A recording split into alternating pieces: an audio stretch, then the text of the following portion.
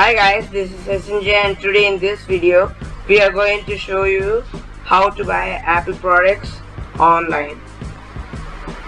So this is Google web page. Let me search uh,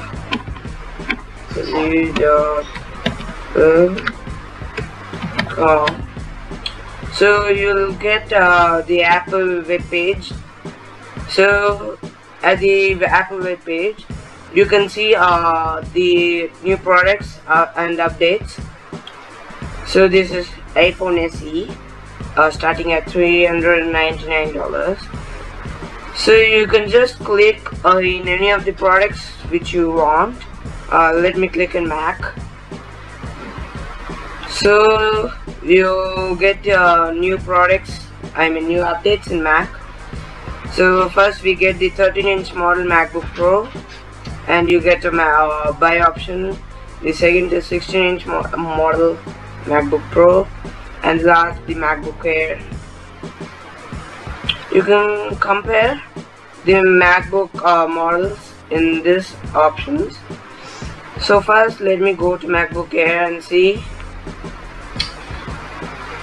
So first you get a overview of the product so it's starting at $99 you can go to Mac OS and it shows you the Mac OS in the uh, notebook and tech specs.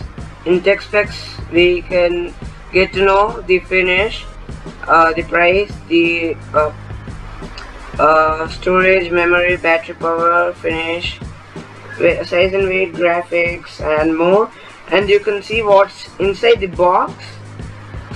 From this the inbuilt uh, apps. So you can see what you get inside the box and more. So uh, by again clicking on the Mac uh, button there you can go back to the uh, home page here of the Mac. You can go MacBook Pro 13 inch MacBook Pro 16 inch iMac iMac Pro Mac Pro, Mac Mini, and more. You can even go accessories, macOS Catalina, iPad, uh, iPhone, watch, TV, and more.